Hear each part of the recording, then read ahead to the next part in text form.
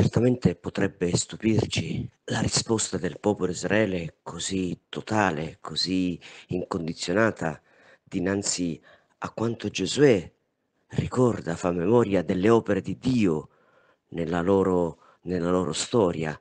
No, noi serviremo il Signore.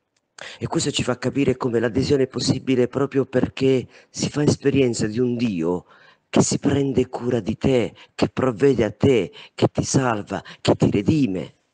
E questo è un po' entrare nella logica dei bambini, di cui oggi il Vangelo ci presenta come modello, perché il bambino si fida di chi si prende cura di lui. Il bambino, in modo incondizionato, si mette fra le braccia di chi veramente lo ama.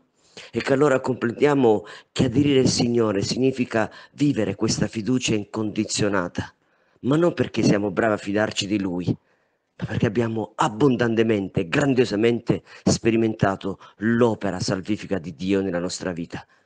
Dio è Padre e in quanto Padre noi siamo figli suoi amati di cui ci affidiamo totalmente. Buona missione.